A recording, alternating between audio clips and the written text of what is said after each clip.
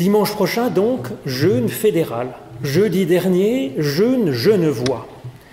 Alors nous pourrions frôler l'indigestion de jeûne, surtout que les protestants n'aiment pas tellement qu'on leur dise, euh, voilà, qu'est-ce qu'ils devraient faire, qu'on se mêle de nos exercices religieux. Alors il est vrai qu'un jeûne qui consiste à ne manger qu'un délicieux dessert, c'est un véritable cantique à la beauté de la vie en ce monde, une louange à Dieu, donc je vote pour. Pour fêter donc cette période de jeûne, j'ai sélectionné pour ce dimanche un texte de l'Évangile où Jésus, comme souvent, est à table pour un bon repas et où il compare le royaume de Dieu à un grand festin, à un banquet. Là aussi, c'est un hymne à la vie en ce monde, à la joie des corps, à la joie de, des palais, de la bouche, à la rencontre de l'autre même s'il est, comme les intégristes chez qui va manger Jésus ce jour-là, pas tellement sympathique. C'est dans l'Évangile selon Luc au chapitre 14, les versets 15 à 24. Un jour de sabbat, Jésus était venu manger du pain chez l'un des chefs des pharisiens, et ceux-ci l'observaient. Un de ceux qui étaient à table dit à Jésus, Heureux celui qui mangera du pain dans le royaume de Dieu. Jésus lui répondit, Un homme donna un grand banquet et invita une multitude de gens. À l'heure du dîner, il envoya son serviteur dire aux invités, Venez, c'est déjà prêt. Mais tous, comme un seul homme, se mirent à s'excuser.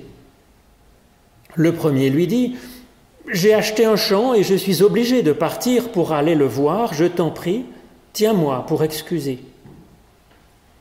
Un autre dit, J'ai acheté cinq paires de bœufs et je vais pour les examiner, je t'en prie, tiens-moi pour excuser. Un autre dit, Je viens de me marier, je ne peux pas venir. Le serviteur de retour rapporta tout cela à son maître. Alors le maître de maison, en colère, dit à son serviteur, Sors vite dans les places et dans les rues de la ville, et conduis ici les pauvres, les estropiés, les aveugles et les infirmes. L'esclave dit ensuite, Maître, ce que tu as ordonné a été fait, mais il y a encore de la place. Le maître dit alors à son serviteur, Sors par les chemins et le long des haies, contrains les gens à entrer, afin que ma maison soit bien pleine.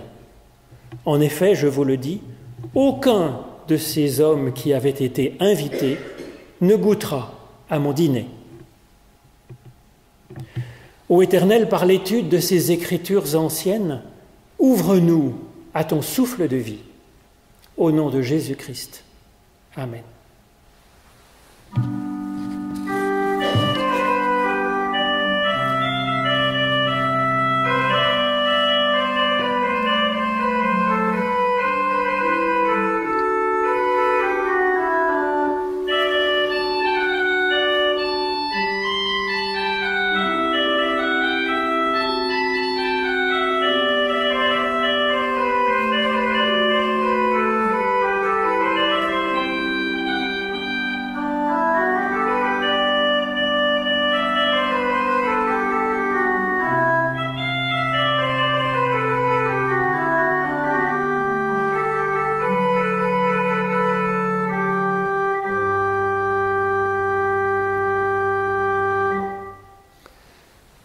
Le principe même d'une parabole de Jésus, c'est de dérouler tranquillement une petite histoire avant d'arriver sur une surprise.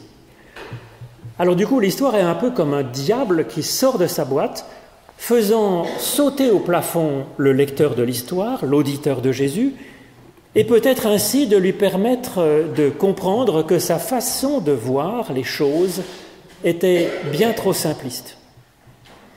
Les paraboles de Jésus sont une entreprise de dynamitage des idées toutes faites pour qui veut bien les écouter. Ici, il a dû sembler normal de voir un serviteur de Dieu appeler les uns pour entrer dans le paradis, c'est un travail de prophète, d'aider les autres à venir, ceux qui se portent mal, c'est un travail du Christ. La surprise tombe dans la suite, va en chercher encore et contraint-les d'entrer. Ce contraint-les d'entrer est cité en général en latin dans les textes philosophiques, c'est le fameux compelle intrare, qui est devenu une des grandes questions de la philosophie à travers les millénaires de l'histoire de la pensée. C'est à partir de cette difficile parabole de Jésus que Pierre Bell, au XVIIe siècle, va développer un livre essentiel dans l'histoire de la pensée, son commentaire philosophique sur ces paroles de Jésus-Christ contraint-les d'entrer, qui a été appelé plus tard, au XVIIIe siècle, le traité sur la tolérance. Comme le jeune Genevois, ce livre de Pierre Bayle est une réaction à la persécution des protestants français quand le roi tente de les convertir par la force, tout spécialement en 1685 avec la révocation de l'édit de Nantes. C'est à ce moment-là que Pierre Bayle a des bonnes raisons de se sentir concerné, particulièrement concerné, car son frère pasteur a été arrêté et vient de mourir en prison. Et puis lui-même, Pierre Bayle, qui a fait ses études de théologie ici à Genève, a dû s'exiler en Hollande. Bayle dit qu'il est aberrant de lire ce contraint-les d'entrée au sens littéral, car depuis tout ce que l'on a pu voir et entendre du Christ, nous savons que la personne humaine individuelle est le temple du Saint-Esprit, le temple de Dieu et que par conséquent violer la conscience de quelqu'un en lui imposant quelque chose ou en ne respectant pas sa propre conscience, c'est une offense à Dieu lui-même, comme si on venait fracasser son temple, son saint des saints, qu'est la conscience humaine. Et donc le droit de la conscience d'une personne sont directement les droits de Dieu lui-même, sacrés. Ce commentaire de Pierre Bayle au contraint-les d'entrée contribue au débat qui va ouvrir une nouvelle époque pour la pensée, celle des Lumières, ouvrant la porte à la liberté de conscience, liberté de foi, liberté de croyance. Alors cela est fort beau, mais bien sûr ça ne va pas sans poser des questions. Car si la conscience de quelqu'un lui dicte d'aller massacrer les autres, par exemple, alors il faut donc des lois civiles, mais quant à contraindre quelqu'un dans sa foi ou ses croyances, Pierre Bayle insiste, c'est une offense contre ce qu'il y a de plus sacré. Dans cette interprétation du contraint-les d'entrée de Jésus, Pierre Bayle s'oppose directement à saint Augustin. Alors effectivement, c'est quand même du lourd. Effectivement, au début du 5e siècle, Augustin lit cette parole comme appelant à utiliser la force pour contraindre les hérétiques à rejoindre l'unité de croyance de l'Église officielle. Augustin remarque que son premier sentiment, sa première lecture des évangiles était de ne contraindre personne à l'unité du christianisme, mais d'agir plutôt par la parole, par la discussion, par, euh, la raison. Mais que ses collègues lui ont montré que la crainte des lois impériales et que la crainte du jugement terrible de Dieu se montrait bien plus efficace pour amener les gens, les personnes, les villes, les pays dans la véritable Église, et que les gens nous remercieraient plus tard de les avoir éclairés comme malgré eux. Ben, le problème, c'est que, que Saint Augustin a raison, c'est formidablement efficace. Même si c'est aux antipodes de l'Évangile, comme le fait remarquer Pierre Bayle dans son exégèse de ce texte, et comme le pressentait Calvin dans sa lecture de l'Évangile.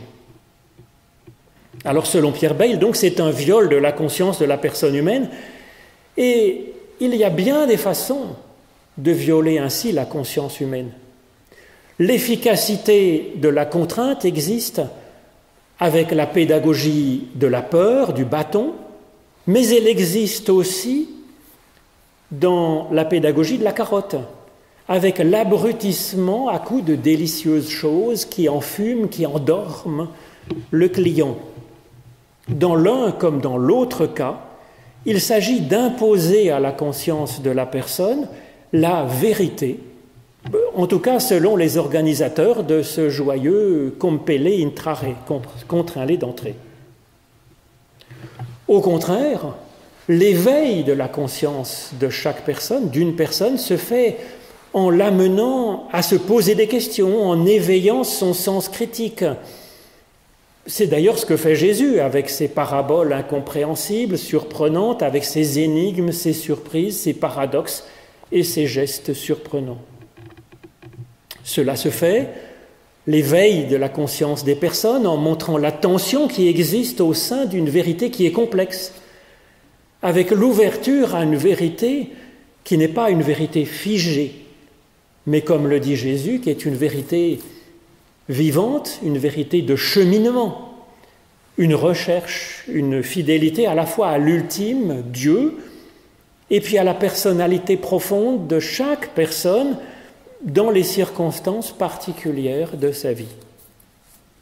Alors pour contraindre d'entrer, d'entrer dans le dogme, dans la vérité du tyran, cela se fait par la simplification des modèles, par la réduction de la pensée à une vérité dans laquelle la conscience de chacun doit entrer de force. Pour l'y contraindre, effectivement, Saint Augustin a raison, la menace est assez efficace. Le christianisme a été persécuté, il a persécuté en son sein et à l'extérieur. Cela a d'ailleurs commencé peu de temps avant Saint Augustin, peut-être 30 ans avant. Aujourd'hui, des chrétiens, des athées, des croyants d'autres religions sont encore persécutés par des tyrans et puis des idéologies aussi, car ce n'est pas réservé aux religions. Dans notre pays, nous avons la chance de ne pas craindre de menaces physiques contre notre liberté de penser, mais il reste quand même la menace du jugement de Dieu, ou des menaces de cataclysme, de fin du monde, si on ne votait pas comme il faut, si on ne pensait pas, si on n'agissait pas comme il faut, bah, selon les maîtres du compelle intrare. Cette rhétorique de la menace est un des marqueurs pour détecter la supercherie finalement. La tyrannie de la carotte, elle est, elle est, plus délicate à détecter, bien sûr, quand on est soi-même attrapé, bien entendu. Mais il y a au moins un marqueur qui est celui de la réduction de la pensée au lieu de la complexifier et de l'affiner, au lieu d'en explorer les paradoxes, les tensions internes. Quand cette pensée unique n'est pas soutenue par la crainte du bâton, elle est alors, joliment enrobée dans du sucre de jus de carotte, avec par exemple une belle ambiance afin de saisir la personne par les sens, par les sentiments, par l'émotion, et puis de la préparer ainsi à entendre le dogme qui va être répété. Et c'est très enveloppant, effectivement, comme protégeant d'une source menace extérieure ou d'un avenir menaçant. Là aussi, là surtout, il est à mon avis bon de discerner les signes de cette tyrannie, car ce n'est pas toujours les autres, ce n'est pas toujours les proches des autres qui se laissent avoir. Et ce n'est pas toujours l'Église des autres, le parti des autres, l'idéologie des autres qui se laissent tenter par cette application littérale du compellé intrare, du contraint-lé d'entrée. Augustin, lui, il assume. La contrainte est efficace, elle est donc bonne si elle est utilisée par le bien, pour le bien. Thomas d'Aquin, autre géant de l'histoire de la théologie, de la philosophie et de la pensée, au XIIIe siècle, émet des réserves dans sa somme théologique sur, cette idée qu'a Saint Augustin lui, il a des réserves au nom de l'importance du choix personnel et de la sincérité qu'est pour lui la foi. Cela, effectivement, me semble essentiel, car en vérité, quelle sincérité il y reste quand la foi est inspirée par la menace du jugement d'un Dieu terrible, ou quand la foi est inspirée par la ferveur d'une foule. Jean Calvin, lui, n'a malheureusement pas ce scrupule de Thomas d'Aquin, et il dit dans son commentaire donc des évangiles de ce passage qu'il ne trouve pas mauvais du tout la logique d'Augustin d'utiliser ce genre de moyen, la contrainte, pour dompter l'obstination de ceux qui n'obéiraient jamais s'il n'y avait pas la contrainte. À mon avis, là, Jean Calvin agit plus en, juriste, en homme d'État qu'en pasteur. Il a eu des meilleures pages. Pierre Bayle, qui donc était pourtant formé à l'école de Calvin, s'étrangle de cette position. Si cette logique était juste, dit Pierre Bayle, elle s'imposerait alors universellement à tous, si elle est juste. Et cela donnerait un malheur universel. Chacun usant de ses moyens tyranniques pour imposer sa propre vérité. Puisque, dit-il, chaque secte est orthodoxe à ses propres yeux, et voit toutes les autres, toutes ses voisines, comme étant hérétiques. Alors c'est bien sûr le cas dans le domaine de la théologie, mais pas seulement, c'est le cas généralement dans tout le domaine de toute pensée finalement. Et donc Pierre Bayle défend la conscience de l'individu comme sacré. C'est pas ce que Dieu finalement porte comme empreinte dans la personne, ce n'est pas des croyances, mais c'est de l'ordre de l'intention, c'est de l'ordre de la personnalité, c'est de l'ordre de la sincérité, c'est de l'ordre donc de la conscience intérieure. C'est pourquoi, écrit Pierre Bell, les droits de la conscience de la personne sont directement les droits de Dieu lui-même, et il soutient qu'il n'est donc pas possible de lire ce contraint-les d'entrée, qu'a dit Jésus, au sens littéral. Mais en fait, si on regarde cette parabole, c'est absolument évident. la, parabole elle-même rend impossible cette lecture.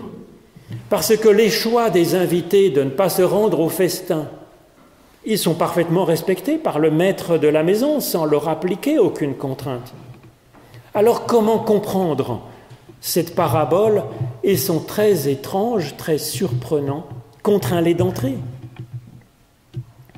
s'il nous indigne ce contraint-les d'entrée, c'est parce que nous nous identifions à ces pauvres airs qui sont de force dans leur galère, entraînés dans la maison du Seigneur pour faire du remplissage finalement.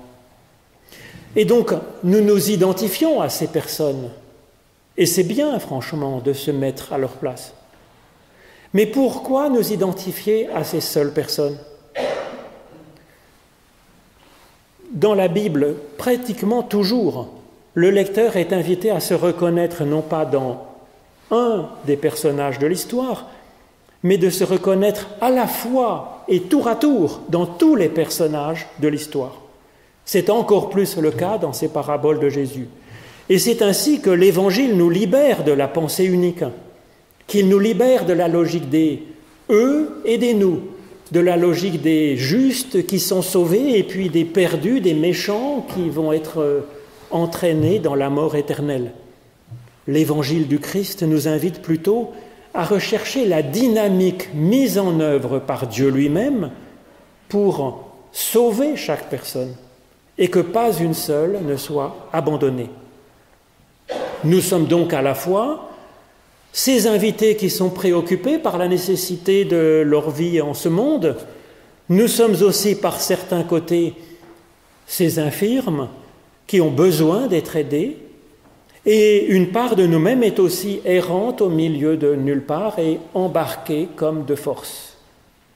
Mais ce n'est pas tout, nous sommes encore ce serviteur qui est envoyé pour appeler les uns, pour conduire les autres, et pour contraindre les derniers à entrer dans la maison du Seigneur. Et nous sommes aussi cette maison du Seigneur, puisque, comme le dit Jésus dans l'Évangile et comme le rappelle l'apôtre Paul, nous sommes le temple de Dieu, le lieu où son esprit, son souffle, donne la vie.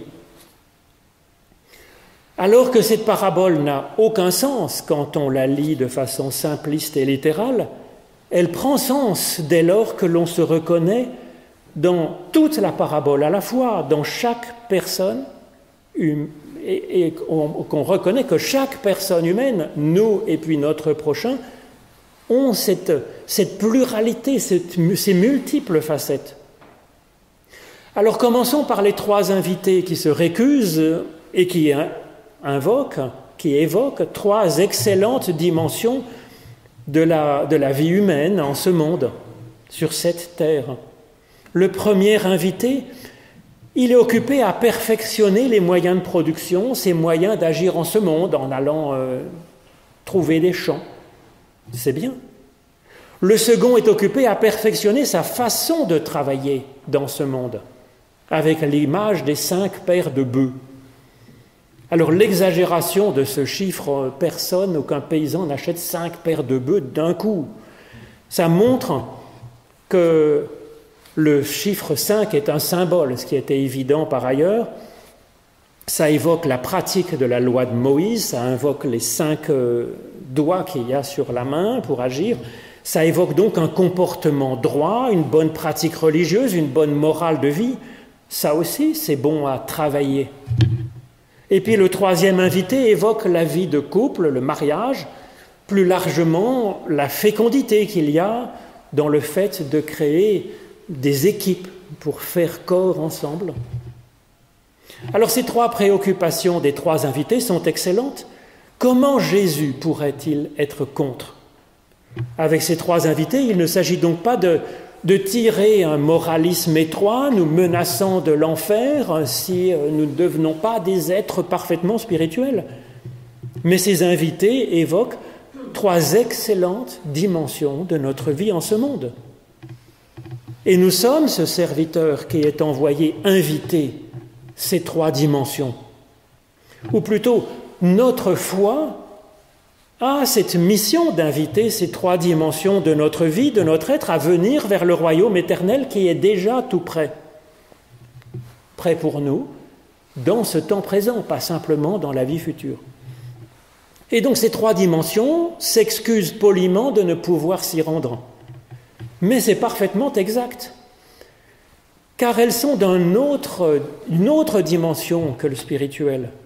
Alors c'est décevant de ne pas pouvoir éterniser notre vie, de ne pas pouvoir transcender notre existence à travers ces belles dimensions de notre vie en ce monde. Les Égyptiens s'y sont essayés en construisant des pyramides, mais est-ce que ça leur donne la vie éternelle? C'est un peu puéril, si vous voulez, comme démarche.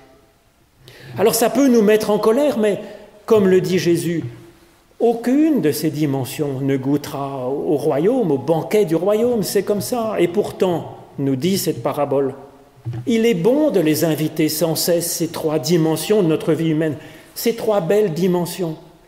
Il est bon qu'elles vivent cette tension finalement, qu'elles entendent cet appel, appel de la foi à, à travailler chacune comme tendue vers l'amour qu'elles écoutent cet appel de Dieu, mais que cela les oriente tout en sachant qu'elles sont d'un autre ordre, ce qui n'a rien de dévalorisant. Un lion ne peut pas voler, mais il peut regarder vers le haut. C'est ça finalement le sens de cet appel et de cette impossibilité, je dirais, d'être Dieu. Nous sommes encore ce second groupe d'invités, le club des handicapés, des blessés et puis des pas encore tout à fait grandis. Notre foi est appelée à les aider à avancer. Et c'est à notre portée, nous dit Jésus, de faire de grands progrès dans ce service et grâce à ce service. Et souvent, ce service est d'ailleurs mutuel. Ce serviteur, c'est, Dieu agissant en nous, ce serviteur, c'est nous quand nous nous faisons serviteurs les uns des autres, avec peut-être la force de l'aveugle qui va pouvoir aider l'estropié qui le guide. Alors là, oui, notre personnalité profonde, notre conscience, notre foi, elle peut avancer jusqu'à Dieu et devenir alors une foi vivante et une foi vivifiante. Nous sommes enfin cette troisième, population, ce pauvre air qui est ramassé dans les chemins et le long des haies, des bordures, c'est cette part de nous-mêmes qui est errante, qui est encore sans nom, sans but ni volonté, en chaos, encore ni bonne ni mauvaise. Cette part de nous-mêmes qui est encore informée vide, Dieu envoie notre conscience aller la chercher. C'est nous-mêmes que Dieu envoie ainsi donner un sens à nous-mêmes. C'est un peu comme ces cellules souches finalement qui, à l'aube de notre évolution, peuvent devenir aussi bien un œil qu'une main ou qu'un pied. Qui d'autre pourrait aller chercher cette part de nous-mêmes qui est encore informe? Qui d'autre pourrait le faire sans que ce soit un viol pour notre conscience? Pas même Dieu. Et donc il est avec nous dans cette mission il nous en donne le courage, afin que rien ni personne ne manque dans sa maison, dans cette maison que nous sommes. Amen.